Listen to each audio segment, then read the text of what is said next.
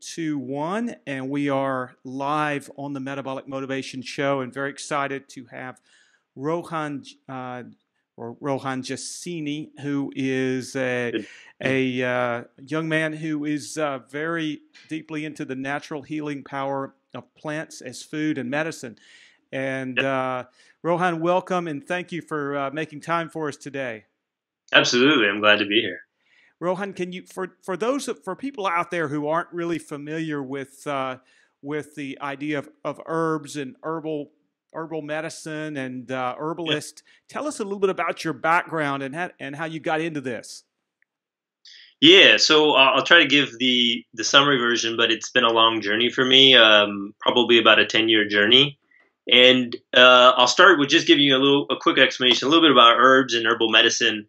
Uh, herbal medicine has been used by every culture around the world, you know, for thousands of years, uh, beyond even written records. It's it's it's one of the oldest and one of the original forms of medicine that we had.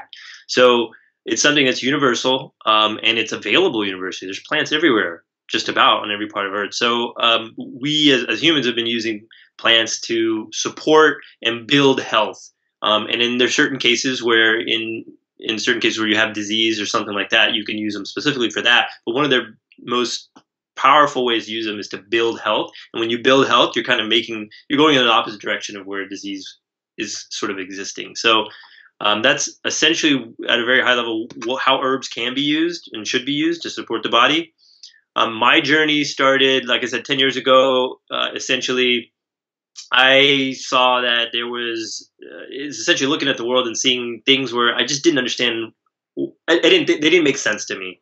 Um, whether it was the way the world was operating um, on a global sense, um, down to the microcosm, um, and one of the areas is obviously health and the way we lived uh, whether it's you know not having community, uh, whether it's the foods that we ate, a lot of these sorts of things. So I started questioning, and ultimately, what ended up happening was I spent time going back to live in a traditional setting in a village where it was more like traditional pre-modern society, yes. and I saw that they lived very differently. Um, their lifestyle was different, their diet, everything um, was different, and that's where I got exposed to herbs. And herbs are just one of many tools um, that I just gravitated towards in the plants, and so that's kind of what I'm doing now is just to help get that information out there and show people that this can be this can be used and could be very powerful. Wow, that's uh, that's great. You know, I've I've had a, a little bit of a similar experience with uh, being here in Spain, and uh, there's still a lot of uh, there are over 2,000 uh, villages that have less than less than 10,000 people per uh, per setting. Some of them much smaller than that, and there's still a lot of traditional traditional culture and habits that have that have resisted modern uh, pharmaceutical based um, you know disease care if you will yeah.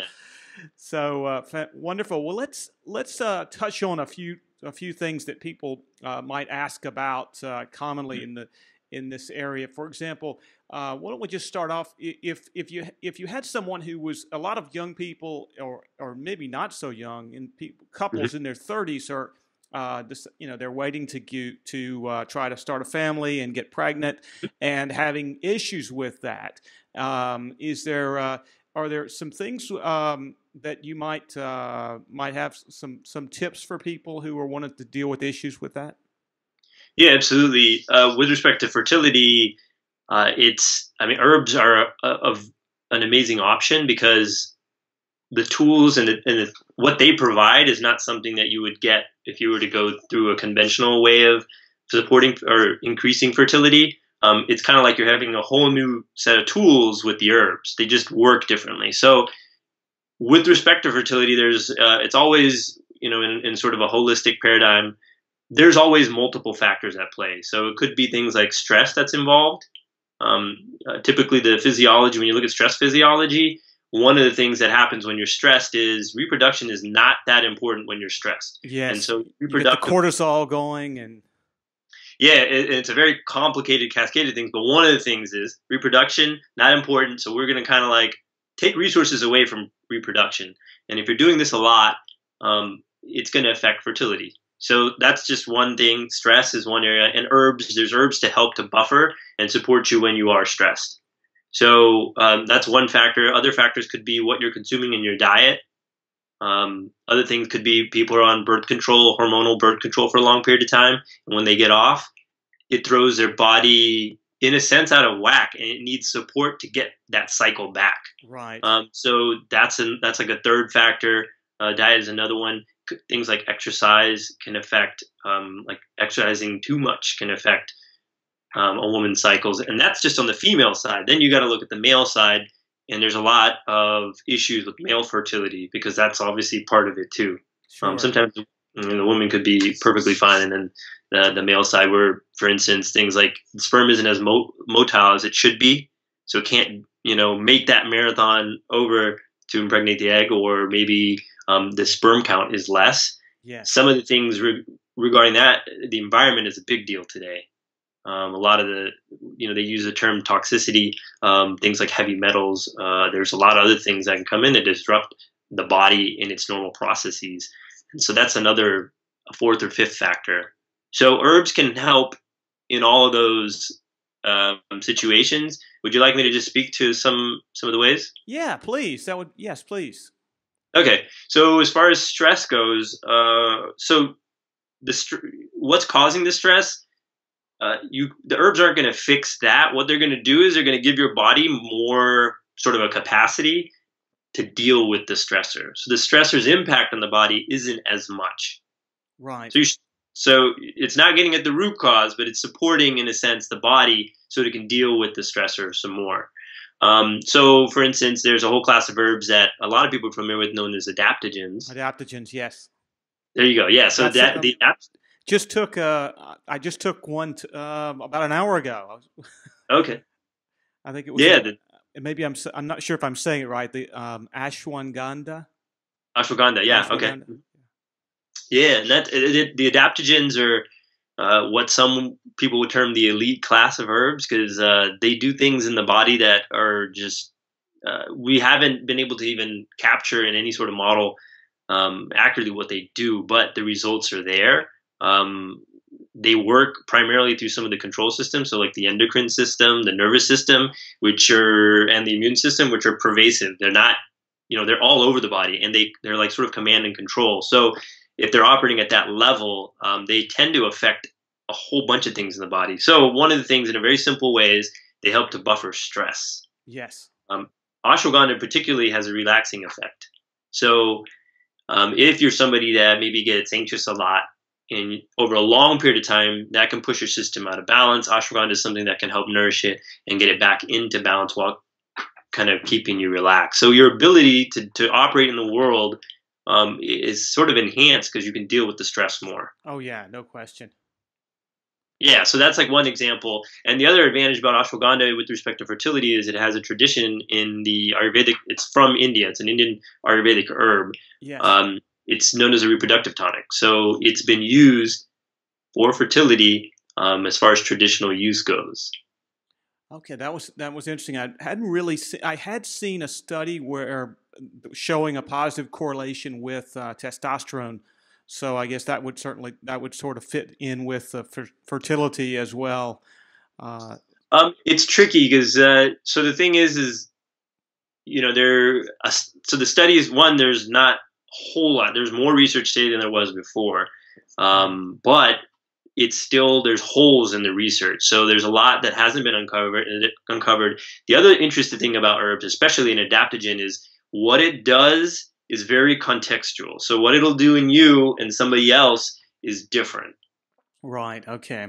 because it's it's it's it's going there and it's creating balance within your system versus somebody else, and your your whatever your your imbalances might be different. Sure. Um, without getting into the science, so in certain situations, for instance, it could adjust testosterone in one way in one person, it could do it differently in another person. Does that make sense? Sure, sure. So it's yeah, it's so it's it's going to be specific to the the individual biochemistry or of that of each person. I guess that would Yeah, to a certain extent. Um, it does have some overall trends, but it's not as easy as just to say, oh, it always does this to this hormone in this setting because there just there's you know when you take ashwagandha, it's thousands of chemicals um, in that plant that interact, and then within that, then you're taking it into a unique person, so it's going to do different things. Right. Yeah, it's fast, a fascinating subject. Actually, I, um, I, this is I'm this is my third week of experimenting with it, and Mhm. uh, I've also noticed uh, a, a positive effect on sleep, uh, a bit deeper sleep, and uh, Yeah. more a bit more vivid dreams and dream retention. Have you noticed an, asso- any association like that? Um, I have heard, I, I've definitely heard feedback um, clinically from people saying yes, they have much better sleep, deeper sleep, and more dreams. So um, as far as the retention piece, I haven't heard that comment, but um, it's definitely possible. Yeah, so I'm not, and and I'm not sure if it wasn't, if I wasn't dreaming before uh, as much, not getting that REM stage, or if I'm just retaining it more. I'm, you know, it's hard to say. But uh, anyway, Yeah, it could be fun. fascinating, fascinating topic. Well, anything, any other herbs that that people might want to look into regarding fertility? Yeah, so there's that's just um, working with the the the stress factor in that whole picture. Um, uh, another factor could be um, I mentioned birth control and all these other factors throwing off essentially the female reproductive system, particularly the cat you know the sort of orchestration of all the endocrine hormones Yes. um, that involve like all the estrogens and um, progesterone and all that. So there's an herb. Uh, it's called Vitex agnus castus or right. chasteberry. Chasteberry. hmm Chasteberry. There you go. Yes. Yeah, and so that's one that's used a lot. Um, it's it's termed as a sort of a hormone normalizer. Yes. So uh, when you use the term normalize, it essentially typically refers to taking something that maybe might be in excess or or under uh, or deficient, and it brings it back into balance. So you know, if you were a person where you had something, this particular aspect of you that was in excess and in me was deficient, the same herb can bring it into balance. Um, Right. Uh, Interesting. yeah, and so within a within the female, uh, within if you're trying to work with fertility, that's one thing to get um, the hormones basically in sync because there's just a whole bunch of stuff that's going on. right. So, Um, it may- so So used to maybe estrogen would just be perhaps estrogen and progesterone looking for that that sweet spot. Yeah, for that particular person, whatever the sweet spot would be with respect to if you had ideal fertility, this is how your hormones would be kind of going up and down along your cycle. Um, it would help to get that back into that rhythm. And when you have that rhythm, is when you're going to be most fertile.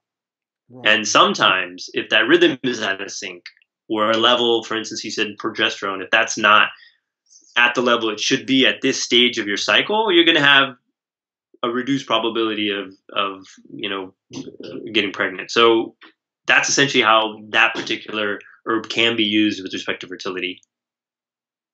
Wow, it- fascinating, fascinating stuff. Anything else to add with um, about as far as fertility or libido or anything like that? Um, yeah, and libido would be. I mean, uh, ashwagandha could help. There's two other ones. Maca is one that's gained a lot of popularity recently. It's from South America. Um, it's a root, and um, it has aphrodisiac prop, uh, uh, properties, but it's also like sort of. It's also been considered a sexual tonic. So something helping in that area. Uh, another one is Damiana, which is. I'm pretty sure it's native to North America. Uh, there might be similar species in other parts of the world, but I'm pretty sure it's native to Nor- North America, and that's also has qualities as, of being a, an aphrodisiac. Okay, fascinating, Yeah. fascinating stuff. Uh, any, how about um, uh, if if there was is there, if there was anything? Uh, I'm trying to think. There was another one that that was a Medi- more of a Mediterranean thing that uh, Uh-huh. that had I had been someone had mentioned to me. It um it was, it was not ro- um, rosemary. Perhaps. Oh, interesting, rosemary. Yeah. Wow. Now this this is a, a totally an anecdotal thing. Uh, I was in an I was in an organic market a few weeks ago and happened to be talking to someone about uh, uh, when on this topic, and they mentioned uh, rosemary as having some some positive properties with uh, regards to fertility and libido and things like that. I had never run across that before, so it was, but it was uh, it was uh, it, it's. I don't. Th- I don't think it's. Looking at online, I did not really see anything about that either. But Yeah, it's interesting. I mean, if you take an herb, it's it's such a complex entity, and you know, there's all sorts of uses for it. So just whatever whatever the evidence says is not the totality of what the herb can do. Sure. Um, it's an uh, we won't be able to know everything that it can do because it's so complex. But um, with whatever knowledge I have, the only thing I could think of that maybe rosemary could benefit for is um, some say that it's very beneficial for circulation. Right. Um, and circulation is essentially like what feeds basically all your tissues, all your cells. So, Sure. If with respect to fertility, you're having issues with any of the female organs where there's circulation issues um, in the pelvic area, maybe I'm just I'm drawing I'm being very hypothetical here. If it helps circulation in that region, then that's maybe why potentially rosemary could be beneficial. Yeah, interesting. Of course, of course, if it was on the male side and you had a, you know, this, and you obviously without good circulation, things aren't gonna things aren't gonna work very well. So uh, yes, it can help on the male side too. yeah, yeah. yeah, interesting, fascinating stuff. Fantastic. Well, let's change gears a little bit to. Um, Uh-huh. You know, from uh, fertility uh, to uh, maybe if we talk a little bit about the immune system and uh, the uh, trying to to help people with uh, immune system to prevent diseases. Any, anything you could share with us uh, on that? Yeah, absolutely. Um, immune system extremely complex. it's it's amazing um, what we have. So a lot of what the herbs are going to do with respect to the immune system is to is um, you can probably divide it up into sort of maybe let's just say three categories. Um, in some situations, you might need to to poke it, to provoke it, because maybe that person, based on the way they're living, um, their immune system just isn't as vital as responsive as it needs to be. And so, in certain situations, you might at onset of a cold, and if you have if you're a person that just your immune system isn't that um, responsive, you can do something like echinacea. Mm-hmm. It's it hasn't traditionally it doesn't have that tradition of being used in colds and flus. Uh, it's more of a modern thing, but um, that's one area where you could use echinacea, and it's got a stimulant property, so it's going to stimulate aspects more of a aspects of the immune system. So that's one piece of it. Um, other times there's what some would call a dysregulation in the immune system, and some people associate that to what we call today. We see this um, basically autoimmunity. Yes. Uh, So another perspective on autoimmunity is essentially, which is still a vague word, is there's a dysregulation in the immune system. Um, and if you think about the immune system, it's it's spread out through the entire body, and it's this constant dialogue, and it's not a single organ. It's this it's this amorphous kind of thing that's in flux, is always dynamic and changing, and there's a lot of regulation that goes on in there. And so, if the regulation, for whatever reasons, um, and there's many factors that could be involved there, is off, you could maybe get this sort of thing where it's like, hey, what I'm not supposed to be attacking is me, but due to the dysregulation, I can't tell anymore. And so I start attacking myself. Um, and so that is part of it. And some also would characterize it as sometimes you have in autoimmunity, you have a increase in your immune activity and a decrease in your immune activity, and it's fluctuating sometimes. Okay. So we have a category of herbs called um, immune amphoterics, and they're essentially like like normalizers. They have a have a way of essentially helping to bring things basically back into into sort of proper regulation. So those could be another category of herbs that would be beneficial in certain situations. And then the last one would be um, situations where uh, you have essentially maybe just you know maybe an excess in sort of um, an immune response, some so inflammation, not like acute inflammation, which is good. You want that. Um, a sort of inappropriate infl- inflammation, which would be more like a, of a chronic nature. Yes. So in that situation, something that you would want is maybe something like turmeric or boswellia, uh, which have a lot of research behind them, um, and the mechanisms with which they work through the body are numerous. Um, so and they're just they're they're amazing, and then you can get them just about everywhere. so Well, and there's there's there's also a uh, seems to be some synergy between the turmeric and black pepper. Can you is Mhm. there so, can you tell us a little bit about that? Yeah, so black pepper, there's uh, so black pepper. eh, I'll go back to the tradition first. Um, if you look at the tradition, black pepper and turmeric come from the Ayurvedic tradition. Yes. Um, so they have a long history in India of, of use, and they've figured out um, they have their own sort of alchemical ways of processing these herbs. Um, and to increase their bioavailability, their absorption, and the time that they stay in the body. So I'll give you an example. Uh, black pepper and also its cousin long pepper um, have been used in a lot of Ayurvedic formulations in small amounts, primarily to increase the efficacy of the formula that it's with. And so, what modern science has done is investigated that some, and they realized that there's a compound in black pepper and also in long pepper called piperine. Um, and piperine essentially, um, the liver, when you take things in, the liver is always scanning and filtering things out. And it has a set of enzymes that do this. Um, piperine goes in there, mucks with it, so that it doesn't filter some of these compounds out. Oh, and I so see. what happens is, is turmeric comes in and it's not filtered out as fast, the constituents of turmeric, and they get into the body. Oh, I see. Fascinating. So turmeric, um, not curcumin, turmeric. Curcumin is just a part of turmeric. Um, turmeric is a much better uh, if, if it's prepared in that way with black pepper, and then also with fats, uh, any type of fat, is one going to get absorbed way more and is also going to stay in the body longer. Um, something like curcumin is um, comes in the body and it goes out of the body fast. So um, using the whole plant is this is a prime example where using the whole plant is going to be better. Okay, fascinating. So, th- so that's a that would that's something I think a lot of people aren't aware of. You know, when, when we do talk about uh, herbs, I mean, we oftentimes people will go to their supermarket, they'll buy an herbal tea, and they'll think, oh yeah, you know, I did the I took um, um, you know, a mint tea today, and uh, for my digestion or something.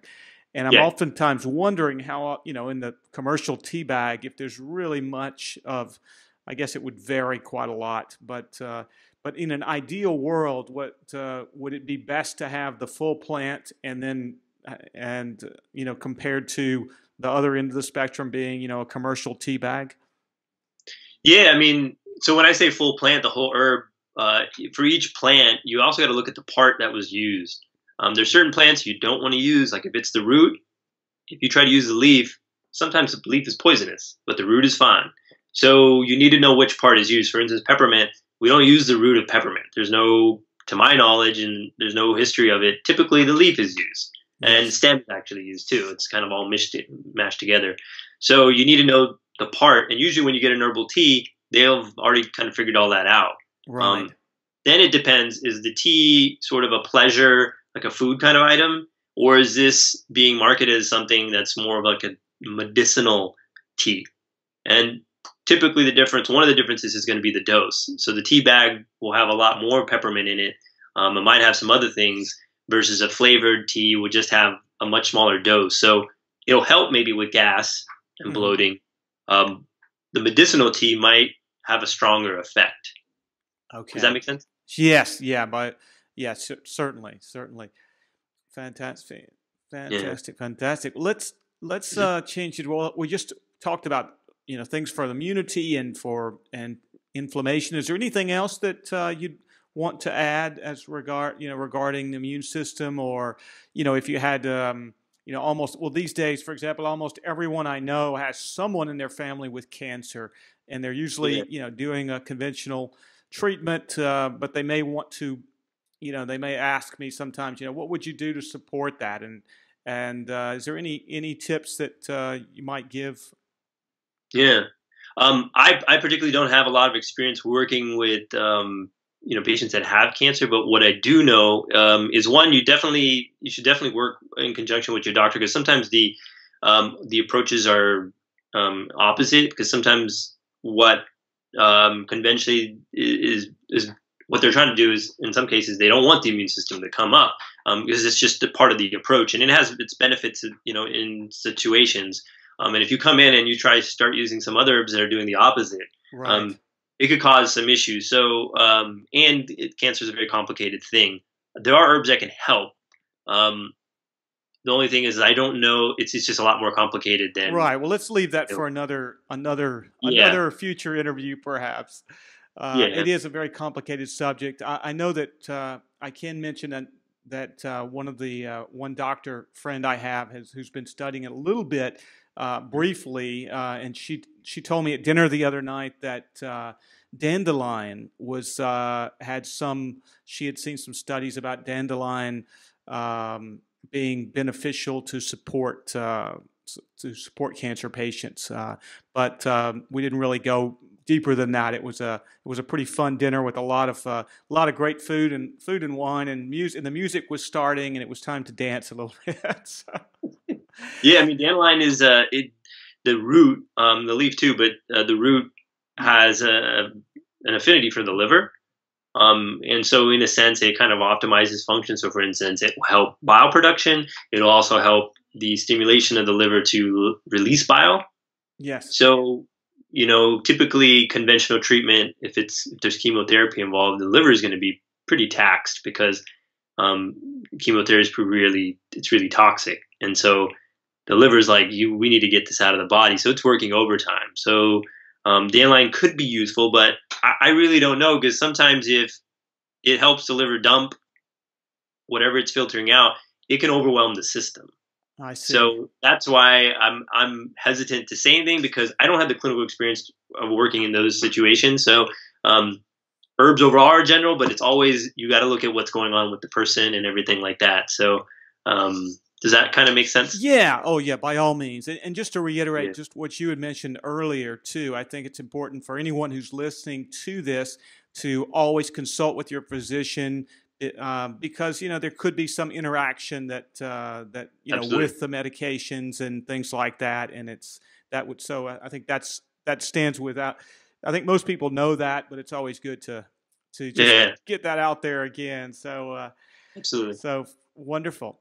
Okay, well let's let's uh, switch over to a, an easier subject, actually, and an even more common problem, which uh, in fact almost um, I would say in almost uh, uh, from my experience in doing health coaching with people, at Mhm. least uh, eight out of ten, if not nine out of ten people would uh, would complain of of a lack of energy at times. Uh, Mhm. Even you know, which Yeah. might go into fatigue or even chronic fatigue uh, in a, in less less cases, but uh, certainly is an issue that's growing. And maybe it's related to toxicity. Maybe it's related to, of course, to lack of uh, good sleep habits and uh, you know poor nutrition. We you know we kind of know that. But um, if you had someone complaining of problems with uh, you know with low energy and maybe fatigue, uh, any any ideas of, of possibilities that uh, you could look at? Yeah, I mean this, and it, uh, like you said, it, it's going to go back to looking at what's going on in their picture. So, um, if I'll just give a couple examples, maybe someone comes in and um, sleep happens to be the main factor. I would probably use herbs to support their sleep. So they're not necessarily for fatigue, but by supporting their sleep, the fatigue can go away. Yes. Make sense? Um, another situation could be, uh, I mean, anemia is another thing that could be causing fatigue. Right. Um, so that would come out in blood work. Um, pretty, you know, a standard blood um, blood labs would show you that, and then you'd have to investigate why are they anemic, and there's many reasons for that. Um, uh, one offhand could just be they're not, you know, they're uh, they're deficient um, in iron, and if they're having digestive issues, maybe maybe it's because they're not taking off enough in from their diet. Um, or there could be some sort of bleeding somewhere in the body. There's all sorts of reasons for that, and you can give herbs for all those different things. So if it's if if, if the fatigue can be traced to anemia, which means that they're deficient possibly in iron, and it's related to digestion, then you can work on their digestion, and as a result, they'll start to absorb normal amounts of iron however much they're supposed to. The body knows what it's you know what it needs to do. So um, maybe that will take care of it. So that's two examples of where herbs would be used. Um, and i'll just give one more. Um, the other one would just the other one would be really like um, the s- stress. Uh, what stress does is uh, it taxes the body more than it should be. It's it's typically in a very in a very simplistic term in terms. Um, it's a response that's not supposed to be used a lot by the body, and when you use that response a lot, which requires a lot of resources, over time, what's in what's in, what's required by the body to to initiate that response starts getting taxed. Right. And so what you what you end up happening what ends up happening is is you just don't have the the sort of energy to kind of keep going because you know, these these organs that are supposed to keep you moving in a sense. This is a very simplistic explanation too, by the way. Yeah, um, no, no, it's good though. Can't keep up with your regular daily demands. Like you should be able to have X amount of energy, but if you keep, you know, using resources above that, eventually it's like I can't keep up. So now I'm going to kind of go X minus ten. You know, I'm going to be less. So that's a, that's a third area, uh, third three different pictures in a sense of how fatigue can show up. So and I can speak to some herbs in each of the categories. I, I imagine that's going to be interesting, right? Yeah, yeah. Please do, please do. Yeah. So, for instance, in the sleep situation, um, to support sleep, you already mentioned one ashwagandha. Um, so, and what's interesting about ashwagandha is it would help in this in the sleep, but it would also help uh, with respect to the stress. So you have a win-win on both those. Um, if those are two factors for this particular person. Um, other herbs for sleep uh, would be uh, there's we have sedative herbs which are stronger and kind of put you to sleep. Then we have another class of herbs called nervines, which essentially you can think of them as food for the nervous system, um, and they tend to have a relaxing effect. So an herb in that category could be something like um, passion flower. Mm-hmm. Um, and that particularly helps in sleep. Um, particular types of insomnia um, respond well to, to using passion flower. Um, and then I think I was saying, yeah, the Nervine. And then as far as the sedative, common ones that are used a lot, something like valerian is used a lot. Valerian, yes. Yeah, my wife has used some valerian from time to time. Yeah. So that's another one that I could use. And that's sort of more of an unsedative category because it's just going to kind of force you in a sense. That's the way I see it, force you to sleep. So those are two areas where they can help with sleep.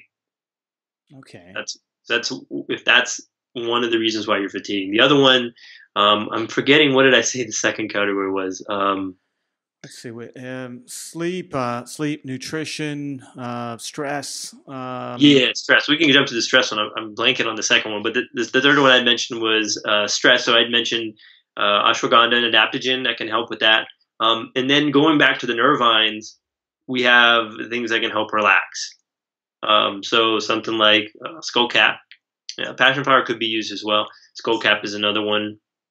Uh, and that one typically it's it's relaxing, so something you would take regularly to kind of help make you less. Um, I don't know if I want to say less stressed, but um, your sort of normal tone is kind of more of a relaxed state. Yeah. So you're more centered. In a sense, you're more centered. Okay. Well, yeah. So those are two areas. Let me see if I can remember the um, the third one for fatigue. Oh, I think I said uh, I described anemia, right? Well, it could be anemia, yeah. Yeah. So with anemia, if for instance in that situation, it's because this person has an impaired digestion, and that's causing basically a lack of absorption of iron, and then over time, what ends up happening is iron stores go down, et cetera, et cetera, and you're now in anemia. So what you need to do is you need to correct the digestion so your body can get iron when it needs it from your GI tract. So then it just depends on what's going on with your digestion, and there's a lot of herbs for that. So um, there could be herbs that are sort of what they're they're called demulcent herbs. They're gooey. Mm-hmm. Um, so what they tend to do is they have a an ability to coat the lining of the intestine, um, and then also um, they essentially have a healing quality. So a lot of the even external topical ones have this gooey quality, and they're just healing to tissue. Um, so two herbs like that are licorice and marshmallow. Oh, really? Licorice and marshmallow. Yeah, I mean, you, this is something you can just put some uh, marshmallow or licorice in water and see what the consistency is like, and you'll see that it's kind of gooey. Um, yeah. And there's, it's not just that we're saying this based on the fact that it's gooey. Um, there's research that supports that, and then there's obviously you'll see it clinically where you use these, and they have a tradition of being used in this way. Um, so those two that could be used you know, upwards to help with fatigue. Could be even things as a, something like a turmeric, because if there's inflammation going on in your GI tract, um, there could be other things like using bitters, things like you mentioned dandelion or burdock, um, something like that to stimulate digestion, to properly process what you're taking in, so that it gets. Because it's kind of like if you think about the, the GI tract, it's kind of like a, like a factory, right? It goes through all these steps, and then at that last step, it's like, all right, I can take it into the body. If you skip one or two steps, how are you going to get to the last step? And so you have something that the body's like, look, I can't take this in. So you end up basically not absorbing as much of your food as you should. Over time, that's going to that's going to result in deficiencies uh, to other to various things. It could be iron. So yeah. bitters are something that kind of help make sure that we're not skipping steps in a sense. Does that make sense? Yes, yeah, by all means. Yeah, I like that analogy. So the digestion being like a like a factory, a multi-stage factory, and uh, yeah, and uh, yeah, that's a great point. You can actually be. Uh, I've had you know clients of mine who were actually you know we were doing detailed food diaries, and they were eating very well, high quality, you know, natural foods, and um, and still did not notice, didn't notice much of a, a change of uh, energy. And then later on, we determined it was exactly that. It was actually, uh, um, we learned to ask them, hey, what, what about your digestion? And they all, you know, generally had digestive issues. And uh, so there you go. So it's not just what you eat, it's what you absorb and what you digest. So, yeah. Uh, I mean, that, that, yeah, digestion is, uh, it's huge. I mean, that's actually, one of the areas I focus on and I'm fo- focusing on more with my practice is just because you just do some simple changes to your digestion and if you enhance it, it just percolates throughout your entire well-being. Like it just supports all your systems. So it's the core. Um, it's definitely a core system as far as health. Yes, wonderful stuff. So wonderful stuff. Well, let's. Yeah. Um, so we've talked about uh, we talked about fertility, immune system, reducing inflammation, re- overcoming fatigue, and uh, let's uh, talk a bit about uh, memory and memory loss. Um, mm. How um, is that something you, that you uh, that you focused on um, on memory loss or or regaining memory or supporting memory? Yeah, I mean it. It memory loss shows up uh, once again for various reasons um, in different pictures. So uh, just you know, it could be situations where someone maybe is um, at an age where they are getting towards a what maybe you would consider an elderly age, and so naturally memory does go down. But maybe it's kind of like a little bit earlier than it should. Um, so there's things that that could be used to support um, basically the brain in a sense. Uh, increasing circulation up here is one of the ways that it works. Um, some of these herbs work. Um, other other herbs that, like I mentioned, the nervines that tend to feed. They're like food for the nervous system. Um, so that kind of helps. Um, there could be other situations where, or essentially hormonally or um, related to maybe the thyroid or some other um, other or other glands. A side effect of that or a symptom could be memory loss, or not memory loss, more like you can't forget. I mean, you keep forgetting um, your memory, things that you're like, wow, I just the short term memory is reduced. There's there's a lot of details there, um, and there's herbs, some herbs that would you could take to essentially support the system, and as a result, your memory can improve. So there's one that comes to mind, Bacopa, um, and there's another one called Gotu Kola. These are both Ayurvedic herbs. Yes. Um, so they have a tradition of being used to support um, a variety of things in the body, but one area for sure um, is is up in the in the head region, the brain, and with respect to memory and whatnot. So those have been used for that. Um, so those are two. Another one that you mentioned, uh, rosemary.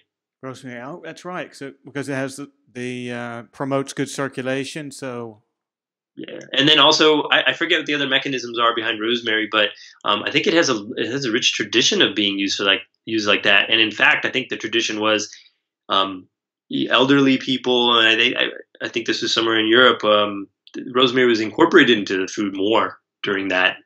I think during that time of life as a means to support memory. Um, yeah, which is the best way to take your herbs. Interesting. I, I know you you still see it in Spain as a traditional herb, especially with roasted meat, roasted lamb, for example. Um, yeah. And uh, and also with traditional stews, there's a traditional stew here might have chickpeas and um, you know a lot of vegetables and uh, um, and Spain has one of the longest lifespans in the world. So it's, it's right up there with Italy as far as Europe goes. And uh, mm. so those those are the kinds of things that the young people are not eating as much of. So they're not yeah. getting the herbs that the grandparents were getting. Yeah, it's a big it's a big disservice to um, to the future. It's unfortunate, but I can uh, walk out just right outside um, within oh, 25 steps from my house to uh, I live in a residential area um, here in southern, outside of, a, of uh, Seville, Spain, um, mm-hmm. which is, and then I'm up in Madrid a lot as well. We have a high speed train, but literally 20 steps away, I've got rose in a in a park, just wild rosemary all over the place. And the funny thing is, is that people, most people don't use that though. They would, they might go to an herbal store if they were so inclined and buy, you know, the um, the pill, you know, a, a concentrated pill version for 20 25 dollars or something and it's just all over the place. It's uh, it's crazy. Yeah i mean yeah, i mean food is definitely for uh, there's a category of, of herbs like the culinary herbs yeah you're incorporating them into food. There's certain herbs you don't you don't want to take regularly you just take them when you need them. Um, but rosemary is one of those yeah take it regularly. I mean, when you put it into food and it's your own rosemary um, you have the whole process of your from the smell that you're getting. In a capsule, you're not getting any smell. Right. Um, and and one of the, I think some of the theory is that herbs that tend to have a very aromatic smell have an action on the on the brain of some sort, and that's why they're sometimes relaxing. And that's what some people say how rosemary. One of the ways it operates on the brain is you're getting the, the aroma. Ah, that's fascinating. Well, you know that would um, that would also connect one of the one of the things that I've have gotten turned on to here a little bit is uh, Spain has a lot of traditional festivals. They're usually um, you know old religious traditions that uh, a lot of people don't really aren't really that religious, but they can are culturally very into the traditions. So, mm. for example, they have what's called Holy Week here, the Catholic week before Easter, and there's a lot of processions, and they typically use rosemary with other herbs in, and they have them uh, dried and they're carried through the streets and they're uh, in a in kind of a um, I don't know the exact word for it, but it would be a metal recipient with a chain, and uh, it's an incense holder. That's the word. Yeah, smoking. Yeah, exactly. So they and you can actually you know find these. Um, this is quite common. Um, in fact, some of the festivals they call um, they call they use the uh, at the on the sides of the altars they would put you know just stacks and stacks of rosemary. Mm. Yeah, it's. I mean, there's they probably have a bunch of other reasons why they use it. That I mean, we. I mean, I would have no clue because I am not from Spain, but um, you know, a long tradition of using that that herb. So yeah, so the aromatic, that's an interest, that's a great point you made, the aromatic aspect. So, well, there, there's the well, whole, the, the field that I know nothing about really, but aromatherapy, which yeah. I guess goes into much more detail with, with that whole area. So, yeah, I mean, it's just, and that's a portion you could, you might be able to group into herbal medicine, but it's its own entity because it's particularly only working with one aspect of the plant, the, the, the basically the volatile oils, which well, just in the air. That's why you smell the aromas because they, without heat or anything, they'll just go into the air, and they're basically you know concentrating them into essential oils. So, um, and they have particular, they're beneficial in particular uses. You know. Yeah, so. well, you know that that kind of connects with one of the one of the things that um, that'll you know sort changing changing the topic slightly, but the idea that uh, everything. Uh, um, a lot well a lot of the a lot of the new um, holistic health care that I'm running across uh, the experts will talk about uh, the fact that we, we have to be conscious that we can absorb, as you were saying, we, we absorb um, chemicals, both positive and negatively, um, you know, from not just by what we eat or breathe, but also by what we smell and what we put on our on our skin. Uh, yeah. Uh, is that something you might uh, you could speak to? Um, you know, as far as because uh, some of these pro, you know, with dealing with with some of the other uh, uses of herbs is, um, with regard to skincare and and things like that? Yeah, uh, so there is is a rich tradition the world over of using herbs topically uh, for therapeutic reasons, and um, that tradition is there because they realize when you put something on your skin, it goes in and it helps. So um, that is definitely the case. So stuff going in when you want it to. So why wouldn't stuff that you don't want that also would go in too. Yes. So if you put on a product that isn't natural, whatever's in there is going in. Um, now, if you get into the chemistry and stuff like that, there might be like, oh yeah, this molecule doesn't, and this does because of this. But generally speaking, your skin isn't it, it isn't like a um, a flat surface that stops everything. It, it, it's protective, but it does let in other things because it also lets out sweat. It's an ex, it's a excretory organ also in the body. So um, as far as herbs to there's er, a lot of herbs that are used topically. Um, they could be used for all sorts of things, whether it's just you know cosmetically dry skin, just to moisturize your skin. It could be used for any sort of trauma, like injuries, that sort of thing, whether it's surface level trauma or even fractures or tears to tendon or that sort of thing.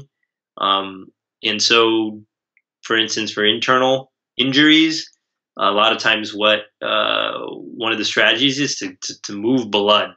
Yes. You know, blood is this, this nourishing thing. It brings in nutrients. It also takes away waste. If you can optimize that, you're going to facilitate healing. And so that's like a strategy that traditionally has been used. And so you would use herbs that um, can essentially, in a way, they kind of irritate the skin. So they bring to that irritation, they bring sort of blood there, provoke inflammation in a sense. Um, they do that internally too. Um, so that's one way that they go about. And then they also have compounds that stimulate cell growth. Um, uh, different herbs do that. Like I think uh, comfrey has comfrey is one herb that's used like that um, for internal injuries. Um, let's see what else. Calendula uh, also is used um, more topically, like or for more topical for the skin related things. Comfrey helps there too, but it also helps internally. Okay. Yeah, interesting.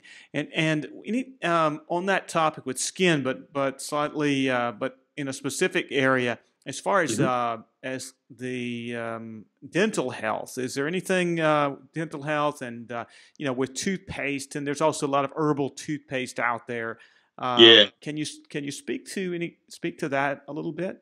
Yeah, absolutely. I particularly I don't use any toothpaste. I haven't used toothpaste in two years. Um, I have my own herb powder that I put together um, for many reasons. Um, I can give you, I can kind of walk through why and what my herb powder. Yeah, please do. We'd love to. Yeah, please. Yeah, um, I can't say it's going to be as tasty as a peppermint toothpaste or sure. the experience as clean. Um, it is a little messy, but um, I'll break down kind of all the benefits of what I have in mind.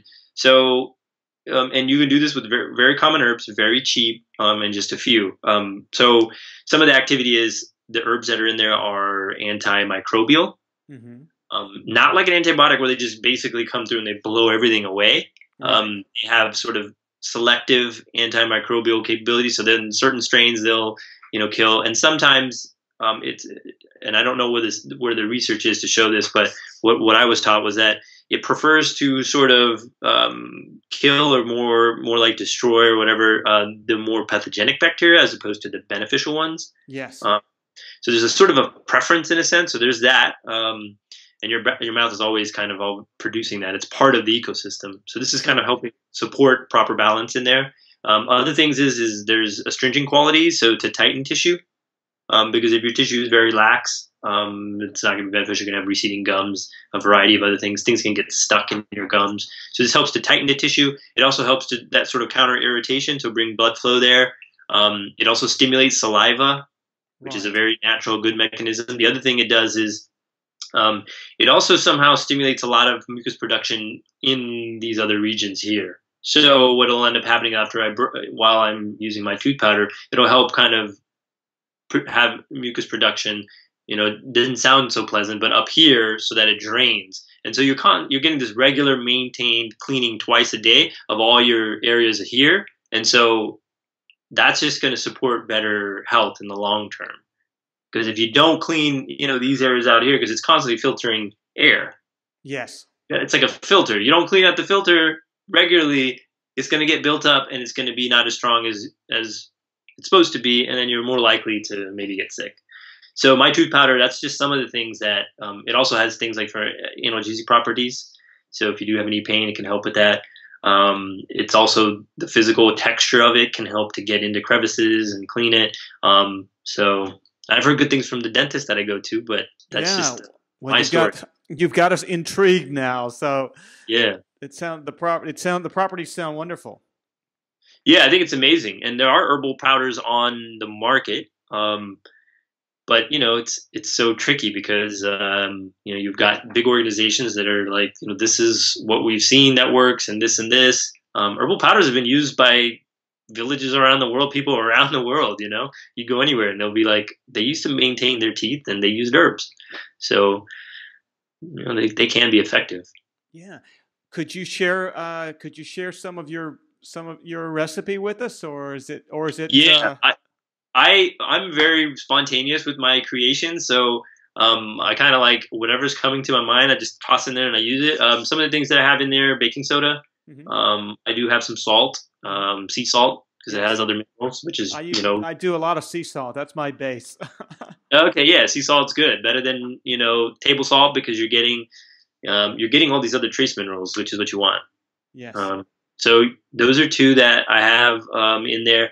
Then I have things like uh, marshmallow mm-hmm. um, and licorice, yes. um, primarily because they've got that sort of gooey quality. So they're going to stimulate mucus production uh, within your mouth, um, uh, which is good for the gums and just normal part of uh, of your mouth. Um, but the, actually, the other interesting thing is is they have an ability to kind of stimulate mucus production in other parts of the body.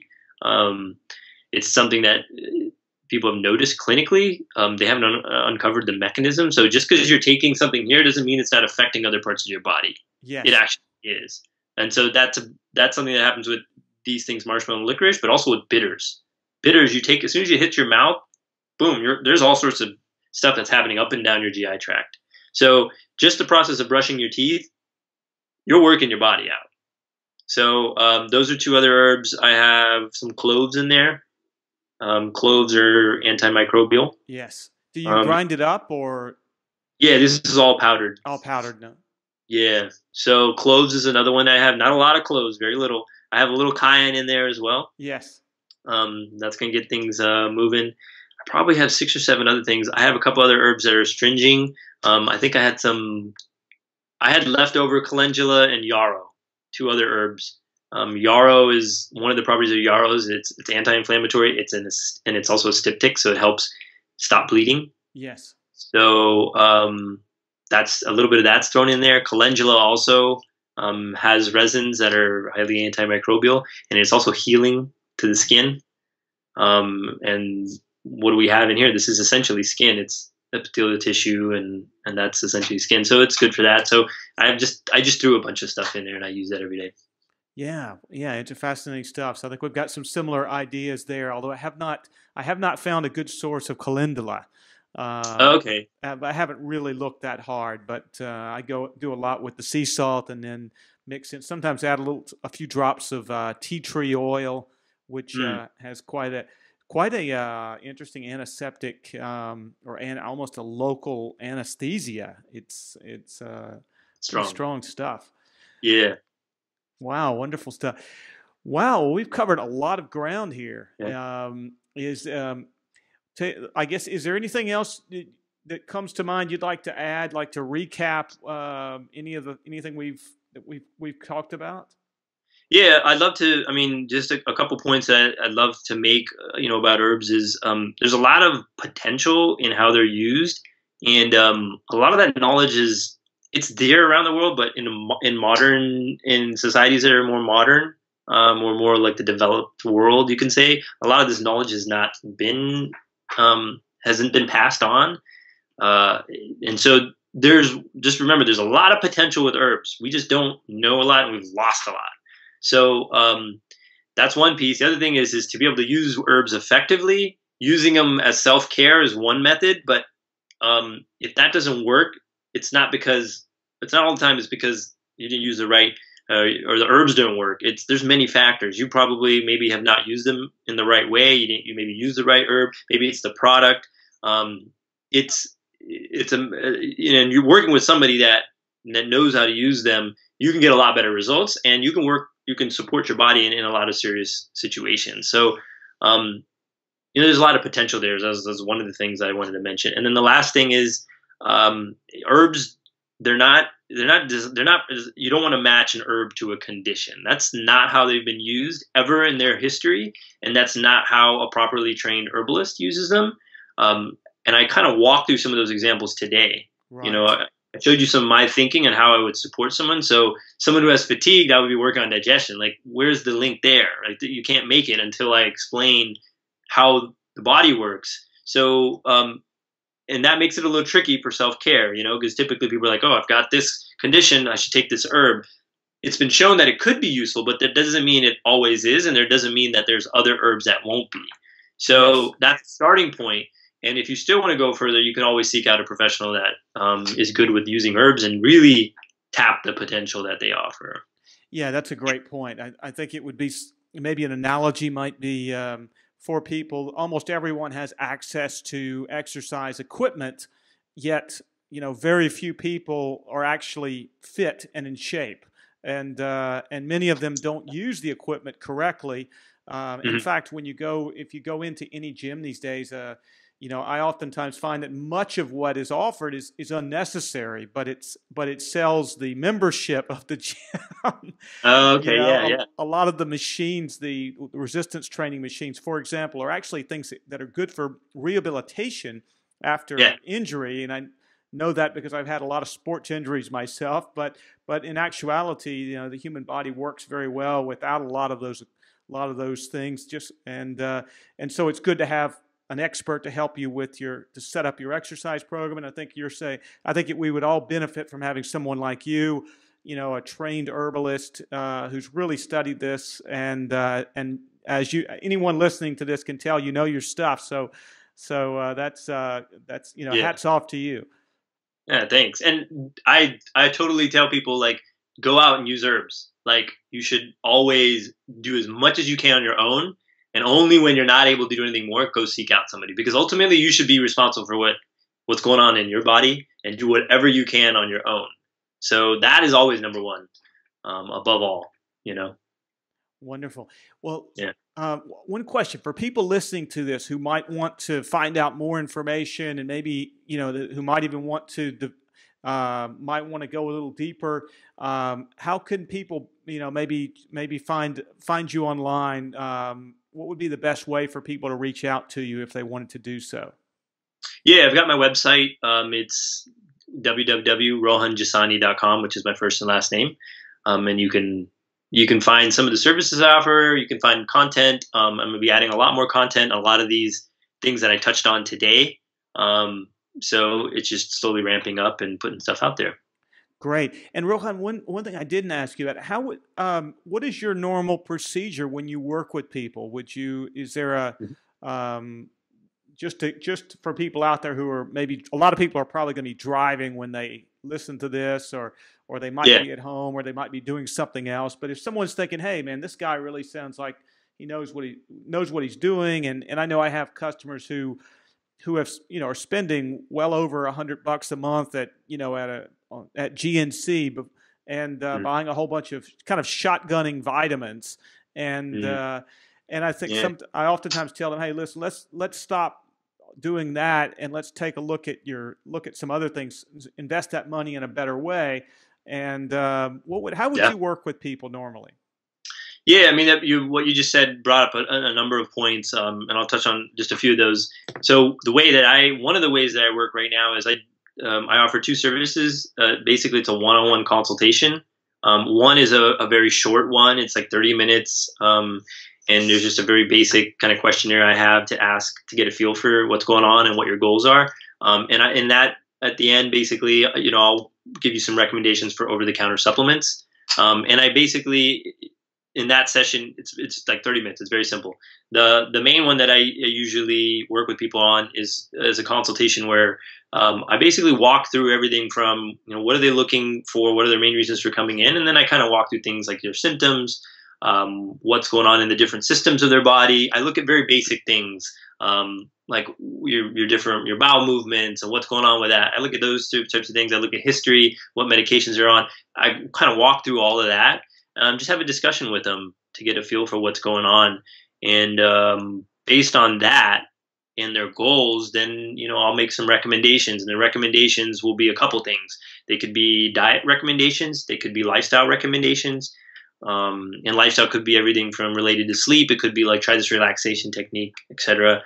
And then herbally, in that particular service, what I offer is a custom formulation. So I work with a dispensary that has the raw herbs and extracts that oh, brilliant. Are, are quality controlled. Um, I've seen the procedures because I've worked in the dispensary before, um, and they source from organic producers. So it all checks out quality wise. And then the added benefit is is I custom formulate for that person. So if someone is taking like maybe 10 supplements for all these different things, when you work with me, you're not you don't have to take the 10 supplements because I'm making something custom for you. So you cut out all the other stuff, and I'm optimizing the co- combination of the two. So this is particularly designed for your situation, what you your goals are, and so what ends up happening is it's less you have to take. Um, usually, it's more effective, and then um, it's cheaper. So right, right. Wow, that's, that sounds that sounds fascinating. So you're able to to do not only to create a customized program and then actually uh, create a customized herbal blend based on the needs yeah. of, of the person. Yeah, it's a protocol. The protocol is customized to that particular person. Yeah, yeah. wow, fascinating. I'm not a don't don't know anyone else who's doing that. I'm sure there must be some people out there, but uh, that's uh, yeah. that's that's great. It, it's actually, I mean, it's the way that herbs were used. I mean, uh, this is how herbs were used in every tradition around the world. It's just um, I can't speak for other markets outside of the U.S., but predominantly in the U.S., people use over-the-counter supplements, yes. which is fine, pre-formulated, but it's not really tapping the full potential of the herbs um, because they were never done. They weren't exactly you know used like that. Right. They're used in these formulas that were customized based on what the needs of the person was, based on whatever practitioner was able to assess. So um, you're tap you're getting a lot more. It's going to be a lot more effective with this route, which is actually in line with tradition. Yeah, no, that's fascinating stuff here. Um, yeah, here in, in the, well, of course, throughout the Mediterranean, there's a long tradition, as you can well imagine, of, of herbs. But during the uh, the middle, the post middle, the, the middle, late Middle Ages uh, and mid Middle Ages, you had the uh, there were there was a time when, uh, just like in in the U.S. history with the Salem witch trials, where people who were the herbal practitioners were sort of looked upon with suspicion as, and they were accused of witchcraft and all this crazy stuff, and so it was yeah. sort of uh, it became dangerous to uh, to be the you know the wise person who was dealing with the herbs.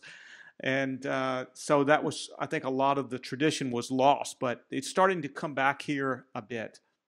Yeah, yeah. There's definitely a trend for it to come back, and it's, I mean, rightfully so. I mean, it's, I don't know how to put it into words, but you know, having a, a situation where you don't have access to a lot of different ways to support your health.